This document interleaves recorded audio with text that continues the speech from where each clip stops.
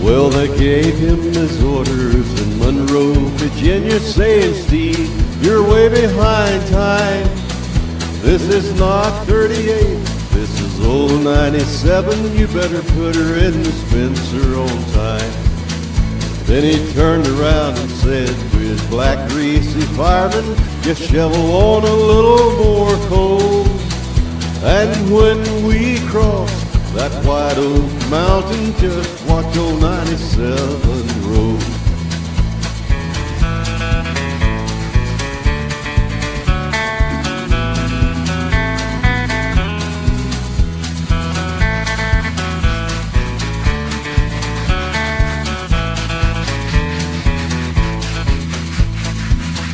Then a telegram came Washington Station.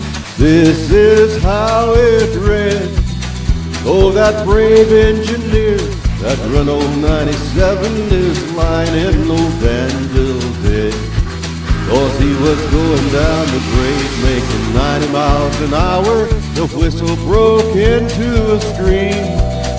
He was found in the wreck